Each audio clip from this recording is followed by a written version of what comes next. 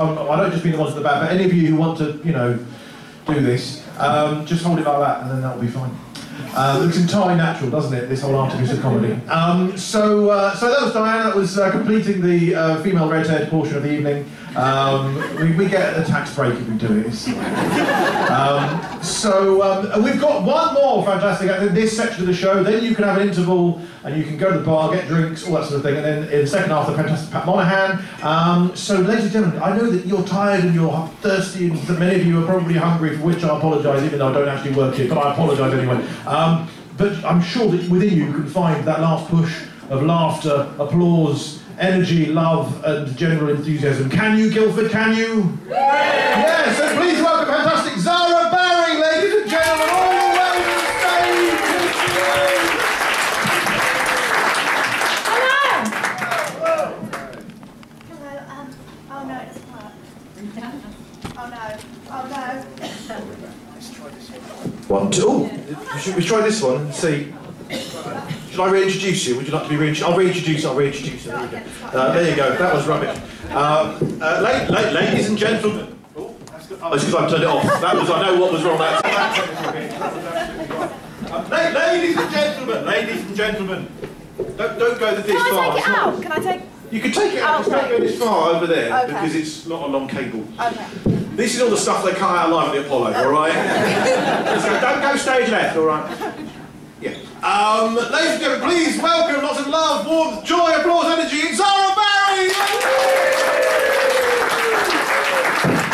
Hello! Hello, yes, um, my name is Zara. Uh, you know, like the shop. Um, but, but unlike the shop, um, my name is spelt Z-A-H-R-A. Um, and that's because it's an Arabic name, and my Arabic family pronounce it Zahra.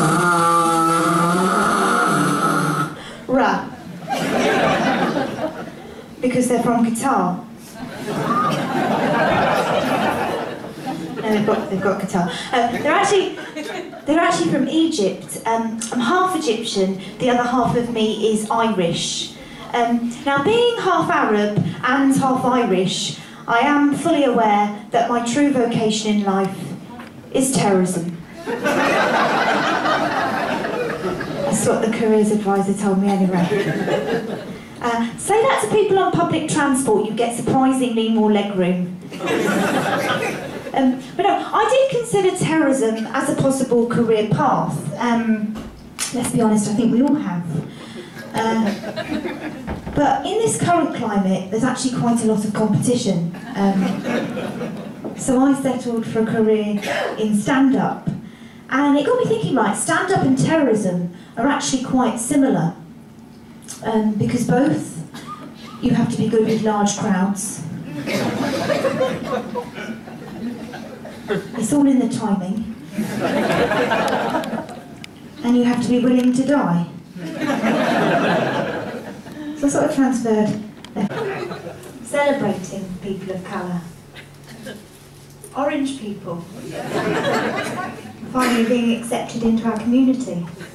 Which is wonderful. And I also like the show because um, it raises awareness of female genital mutilation. Hundreds of girls in Essex get bejazzled every day. It's very sad. But uh, Guildford, uh, it's nice to be here in Guildford. It's very, it's very posh, isn't it? Um, no? no, no, no. I, I know what posh is because I live in West London, Acton. So I, I know, I know. What, or a tip man, and that got me thinking about the bigger picture. Um, and I thought that's probably why the coalition did so well because you had an arse and a tip. Everybody's happy. I'm really surprised I didn't get voted back in. I'm only joking. I actually voted for um, I voted for Labour um, because I thought Kate Middleton looked so good after Labour. I thought the UK would too. no one was with me on that. No, but I have got a boyfriend now. I'm, I'm not single. I was single. I didn't just go on dating in the dark. I did sort of regular dating in the daytime as well. And um, I was with this guy one one time, um, and he had a dodgy eye. Um, so I thought nothing of it when he said that he had a sty. Turns out it was an STI. I'm only joking, I'm only joking. Um, I actually got an STI from trying on a bikini in Primark. I don't recommend that. But, but this isn't an STI, but have any, any of you ladies ever had cystitis?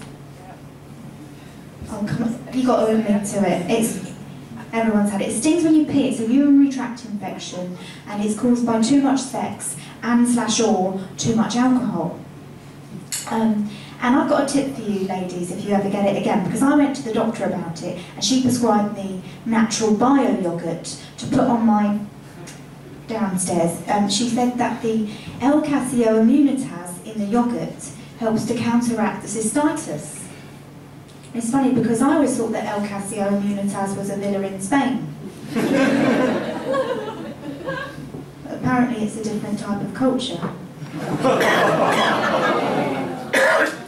so yeah, I'm putting it on. I'm putting it on every night and it, it seems to be working. Um, but um, one night I, I ran out. So, so I used a Muller fruit corner.